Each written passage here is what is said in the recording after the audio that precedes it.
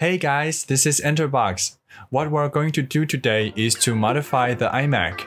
There will be four modifications. First, we're gonna upgrade the CPU to i9 9900K. Then, the memory will be upgraded to 40GB, NVMe SSD to 2TB, SATA SSD to 2TB as well.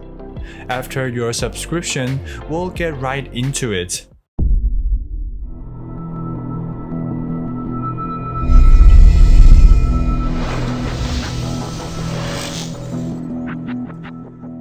First, what we're going to do is to run this rubber cutter through the edge of our screen, separating the screen and the Mac itself. It will come off without a suction cup, but it will be a lot easier with one of these. After detaching the display, it's also important to clean the remaining glue on the machine itself and the display module. Both parts might have some remainder of the glue. The display has some weight to it, so be careful when you try and take the screen off by yourself. After the separation, our Mac would rise due to the weight change. It is completely normal, no worries there.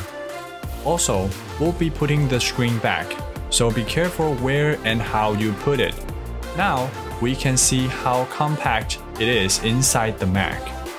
Here at the bottom end, we can use the small screwdriver to screw them out one by one. And after taking the whole thing off, we can start working on the speaker module.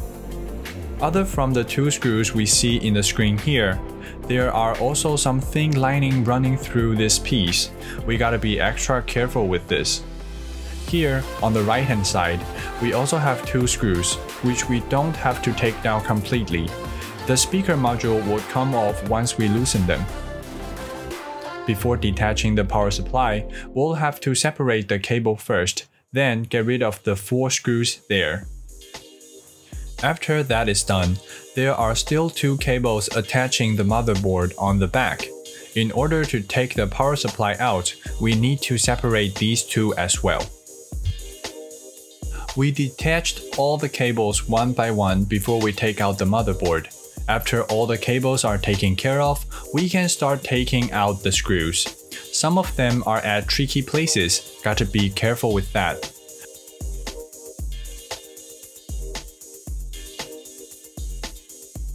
The three screws for the fan just need to be loosened and the fan will come off.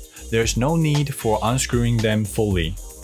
Before we take the motherboard out, it's better to double check for the screws in the back and on the side, so we won't end up breaking the whole thing.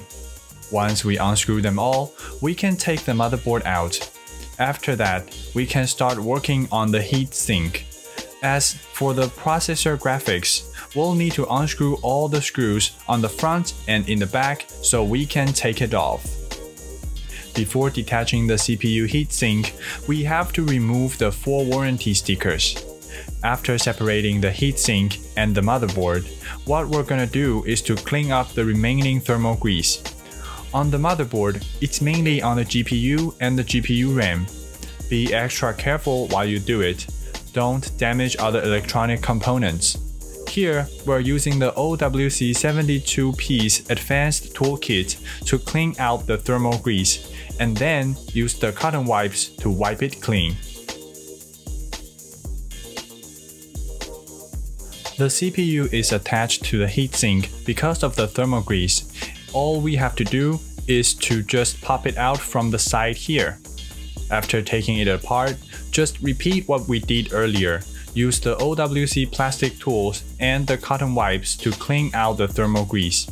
Then we'll get this clean GPU and we can also see the Samsung GDDR5 memory beside it. Now, let's focus on our CPU.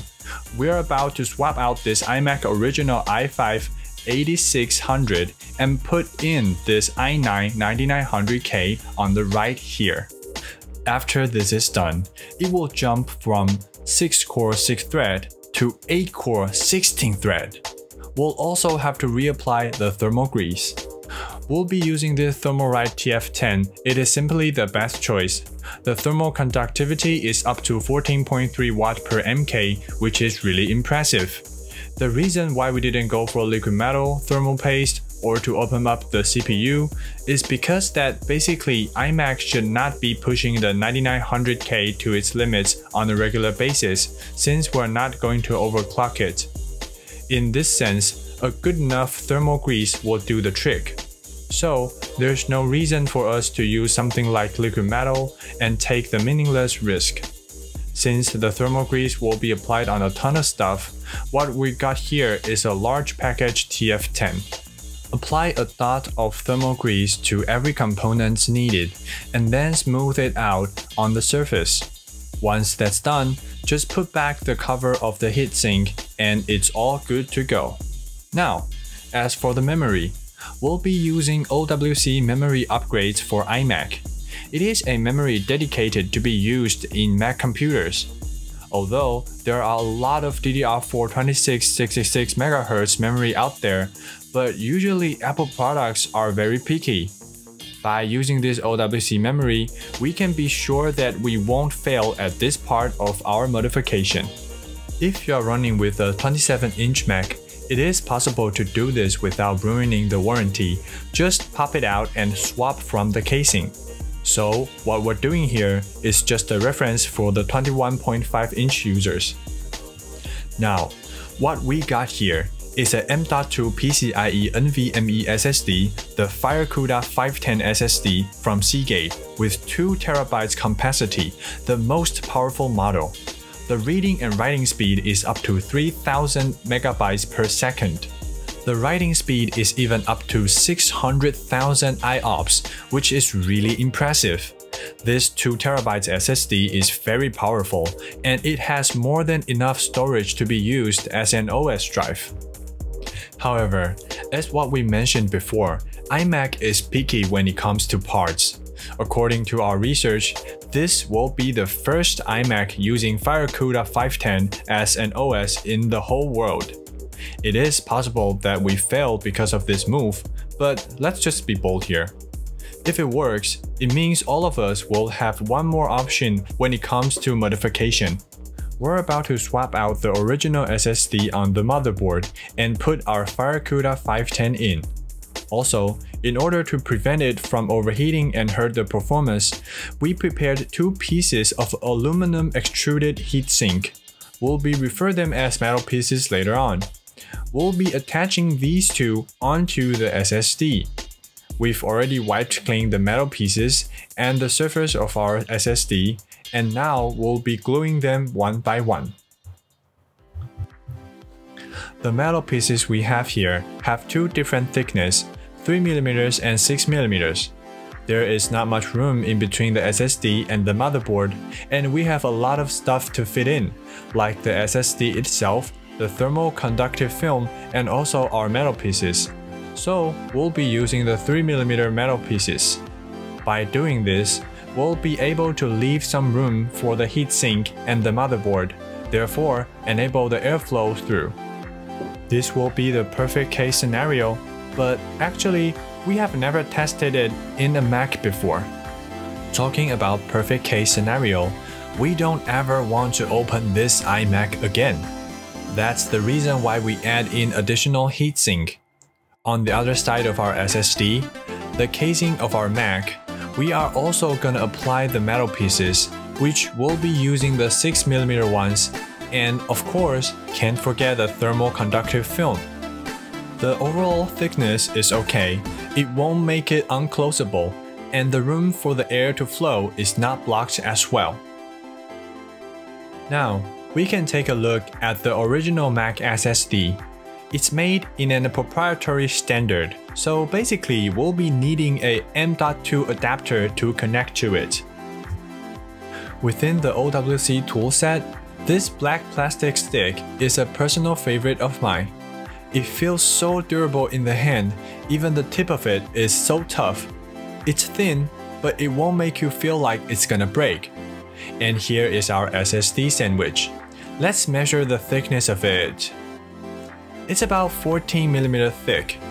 Now, we can put our SSD sandwich into the Mac and screw the screws back in. And this concludes our SSD modification.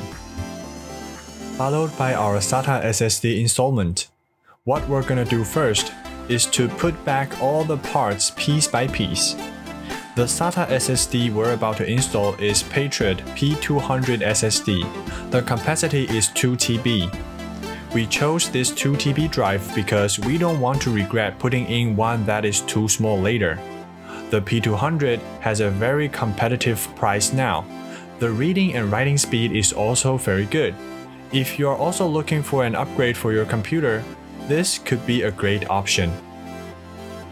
Since the hard drive of this iMac will take a 3.5 inch room, we'll need an adapter to connect the 2.5 inch SSD, so we could put it back into our Mac.